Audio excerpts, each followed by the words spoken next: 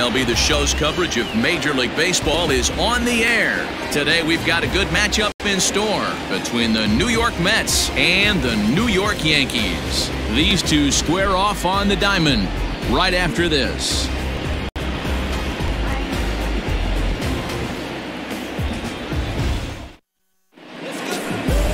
Gerrit Cole, the California-born right-hander, is on the mound. Dan Plesac, what's the word on him? Hey, we're getting a look at a real competitive pitcher here. Career ERA in the low threes, and that's not an easy thing to do in the day and age of small ballparks and guys swinging for the fences. Rock solid pitcher, does a lot of things well, and it'll be fun to watch him work in this one here today. Now at the plate, Brandon Nimmo, and we are ready for some daytime baseball. Brandon. He's ready. Here's the first offering.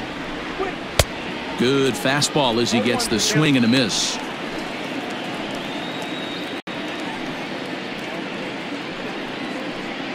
First pitch, 1 o'clock.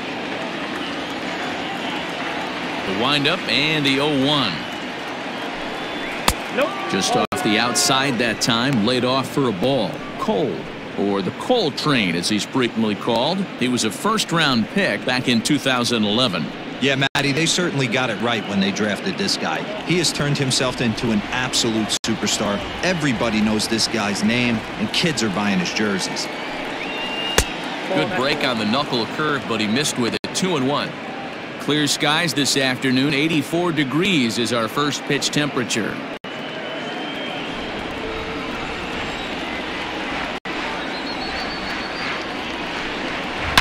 Right side defense aligned perfectly. And a reach to his backhand, but he can't come up with it, and the leadoff man's aboard. Hey, not an easy thing to do right there, Debro, with that stacked infield on the right side. To hit it through where the shift is, have to hit that in the right place at the right time. Yeah, he found a good result right there. Dan pitcher actually executed right there. Got him to hit it where he wanted to. Put good barrel, good contact on that ball and was able to find the hole. Stepping in now, Michael Conforto as he swings and misses at a first pitch fastball 0-1. His career line against Gerrit Cole. He's gone two for six. He's taken him deep once.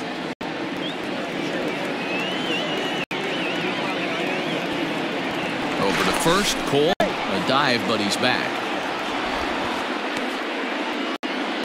Nimmo aboard here at first with nobody out.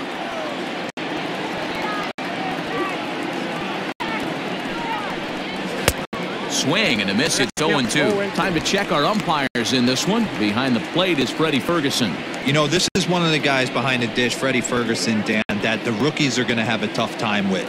If you've played in the league for a little bit, you understand that he's got his own zone. I, you touched on it, D-Roll. I think he rewards the veteran players, not only pitchers, but position players. He makes the younger players, he makes them earn their keep. Got him to miss the breaking ball there. Michael Conforto goes down for the first out of the game.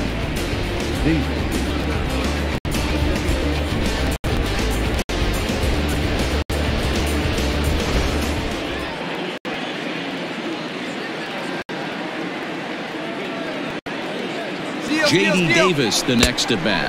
He swings and misses. Throw down. He is not in time. Pretty close, but he got in there safely. So he swipes second successfully, but you have to wonder now if that might actually end up taking the bat out of the hands of one of their better hitters. Well, that's a good point, Matt, but I'd be a little surprised if that's the case. It's still early in the game is tied, so that would be a pretty cautious move to pitch around him here or just walk him flat out. One strike now from Cole. One. One and one. Runner at second here with one man out. Can't keep the weight back, and he falls behind one and two.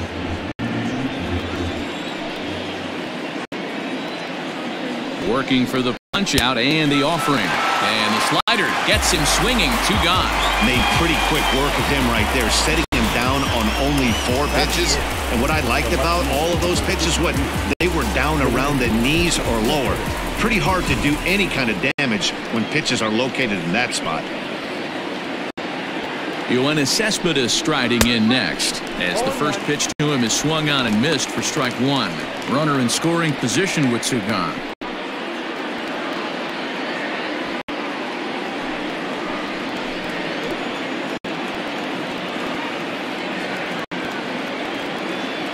Ready with the 0 1.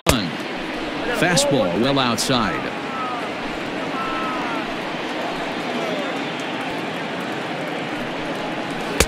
Lays off the slider that time. Two and one.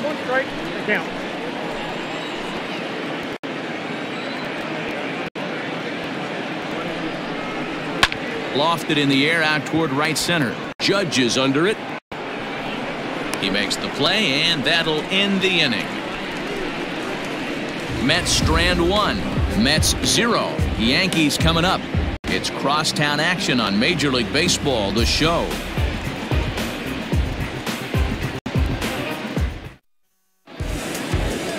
Jacob DeGrom gets the ball for the Mets in this one. Dan Plesac, what do you got? Jacob DeGrom is just a solid pitcher.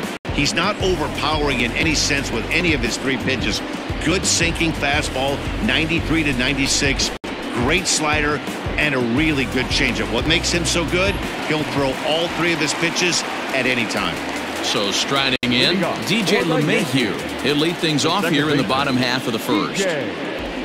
LeMahieu. In there for strike one, 0-1. In previous duels with DeGrom, he's got three base hits in 17 at-bats.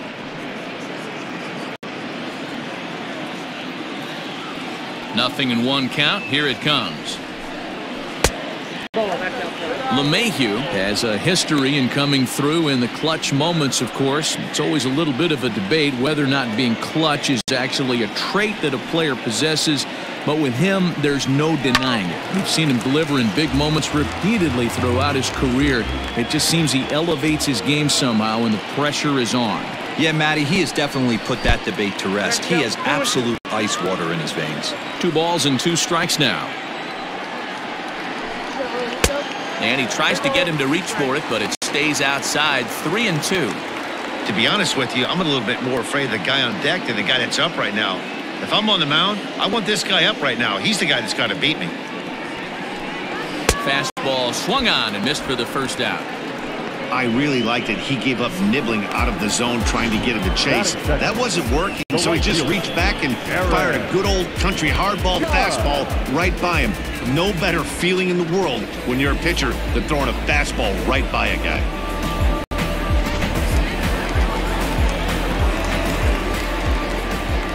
And that'll bring up Aaron Judge. And he connects with it. This one's hit deep out to left center field. Nimmo is back to the track as he takes it for route number two. Batting third, the center fielder, Aaron. Stepping up now, Aaron Hicks. First cuts for him here with the bases open and two away. Infield in the overshift here. Now the pitch. Nope. Fastball too high to start him out here 1 0. Bases are empty here with two men out. And that's inside and a bit low anyways. It's 2 0. 2-0 to a guy with this kind of pop, you better be awfully careful because he's going to be swinging out of his shoes. Now here's the pitch. 3 and 0 now.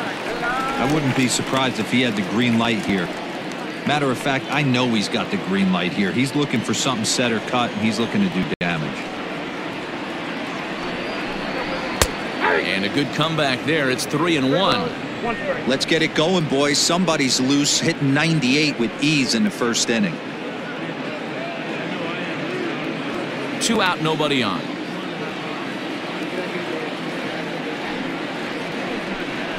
And a good job there to lay off. It's ball four as he becomes their first base runner of the ball game now with two away. Batting fourth, the designated hitter. And digging into the batter's box next will be Giancarlo Stanton. In previous duels with DeGrom, he's a 333 hitter. Also of note, the four home runs he's hit against him. First pitch on its way. Look at the radar gun on that slider. Off speed pitch, 91 miles an hour. That's just pure filth.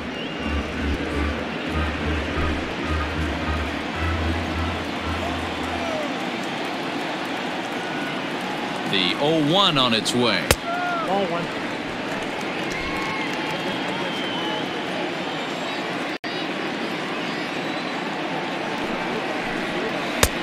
You got two One strike. Hicks leads off first with a pair of outs in the inning. Throw over to the bag, oh, and the runner back easily.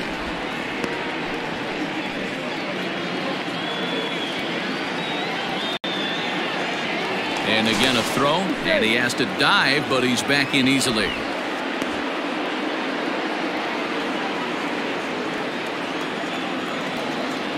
Now the 2-1.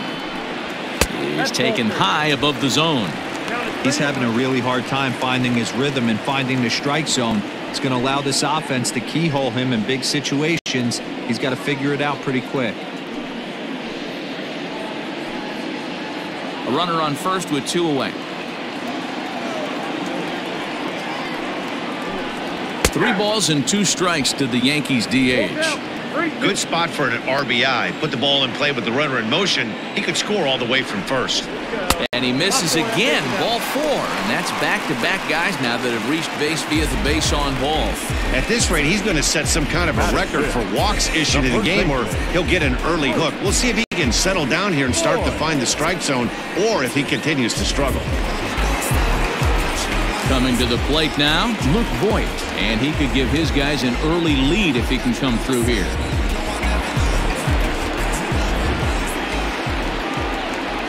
From the stretch. Ball. Ball one, no. Two men are on with two men out.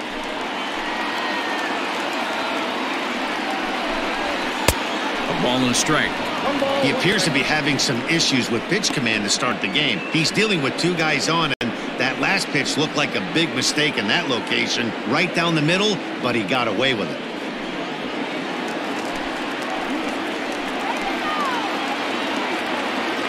Ready with the 1-1. And there's a base hit on the line. And will cross to make this a 1-0 Yankee lead. Boy, that has to feel good as a hitter, D. Or you get that base hit to give your team the lead. You have to feel good when you get down to first base. Yeah, it's just a nice approach. You see him turn to his boys right there and get fired up with the dugout. 100%, not trying to do too much, able to quiet the moment down, center himself, and come through in a big spot. Gio Urshela is in with two away now as he looks at a called strike one. This is exactly the situation you drew up from an offensive standpoint. Good pitcher on the mound, but you got a chance to bury him early in this one. The 0-1 offering. Hit out towards second. There's Cano. Throw to first in time, and the big inning is avoided as the side is retired. Yankees forced to settle for one. One inning in the books here.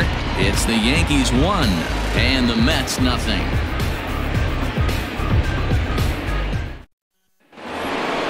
Second inning set to go, and that'll give way to the veteran second baseman, Robinson Cano. Cano.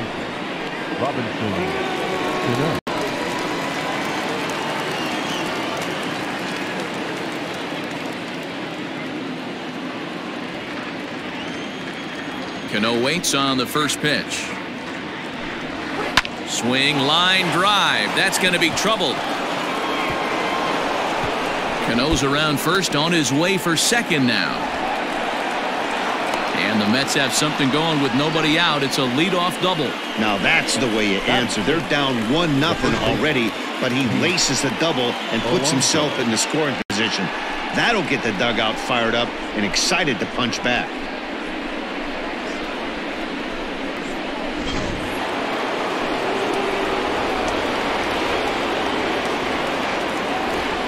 Here's Pete Alonso as he looks at a fastball that's in there for strike one.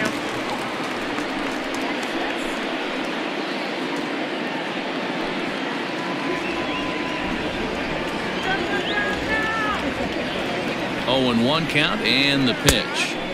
Oh, and he's really getting the better of him now. It's strike two.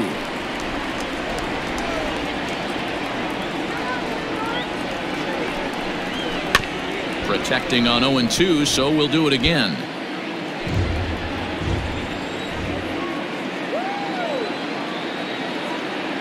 Nothing in two count and the pitch.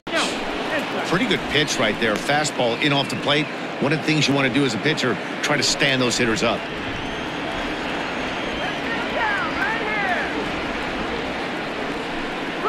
swing and a miss on the slider, and that's out number one.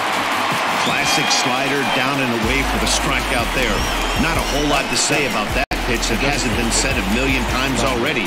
That's just a real tough pitch for a hitter to pick up out of a pitcher's hand, so they end up chasing when they're in protect mode. Into the box, Dominic Smith, as he will look at a first pitch fastball for ball one.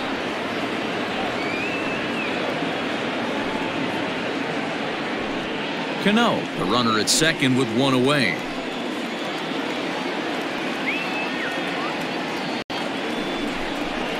And he looks at a changeup in there, one and one. One and one. 88 on a changeup? I remember when an 88 mile an hour fastball wasn't all that bad. Man, the game's changing. One and two now as that one's fouled off.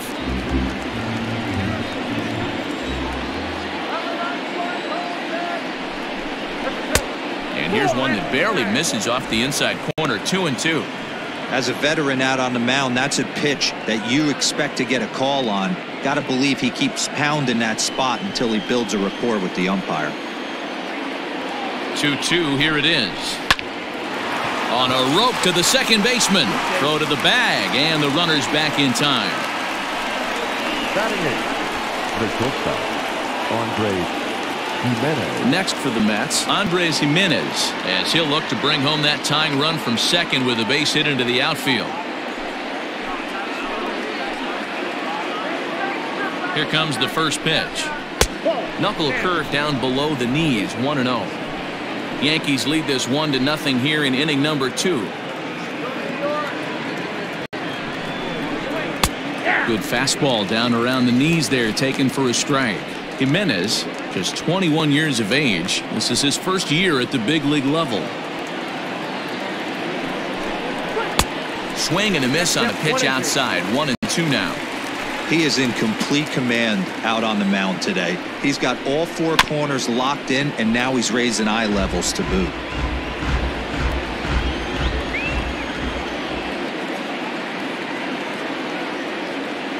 Here comes the one and two. Chases out of the zone for strike three, and that's the third out of the inning. Mets leave one. It remains one nothing.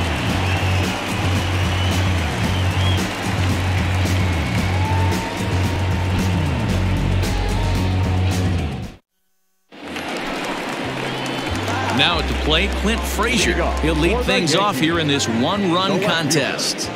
Swing.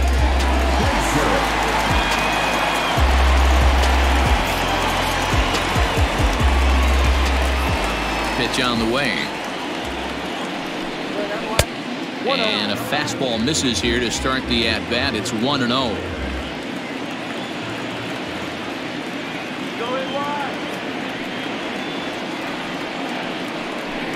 One and one. The count to Clint Frazier. This pitcher's bringing it with some high velo. You better get that front foot down early and get ready or he's going to throw it right by you. This one's outside, quite a bit off the plate that time. And the 2 1. Line drive to center field. That gets down, and he's got himself a base hit. So the leadoff man reaches base to start out their half of the second inning. Nice piece of hitting right there. Kept his shoulder square, his hands inside the baseball, and was able to fight off a good, nice executed pitch for a knock. And that'll bring up Gleyber Torres as he rips it on the ground to second. Oh, how about Cano to second for one. Just late. He's safe. On to first, but not in time as he beats it out. Boy, that was a smooth play, wasn't it?